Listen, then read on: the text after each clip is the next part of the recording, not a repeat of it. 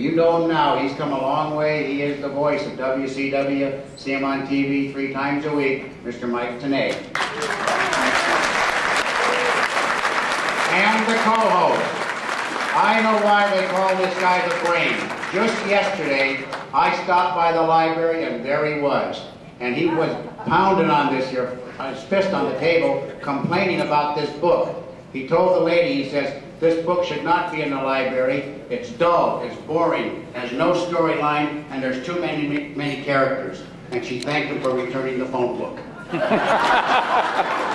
Ladies and gentlemen, the brain, the legendary Mr. Bobby Heenan.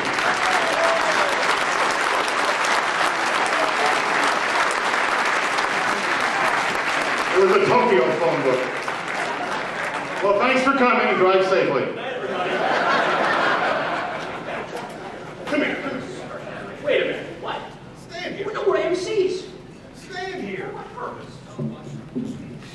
Now what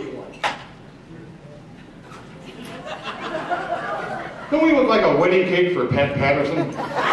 Oh, man.